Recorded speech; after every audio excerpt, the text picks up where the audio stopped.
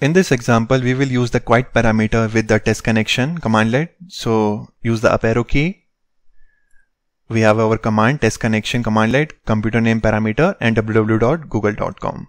So let's use the quiet parameter here. Okay, so what will happen when I will hit enter after this? So the command will return true if the connection is successful and it will return false if the connection is not successful. So let's verify whether the connection is successful or not.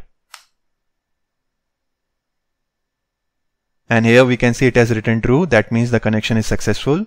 So in this command we are using quiet parameter which returns a boolean value instead of a win32 ping status object. And the value is true if any of the four pings succeeds and is otherwise false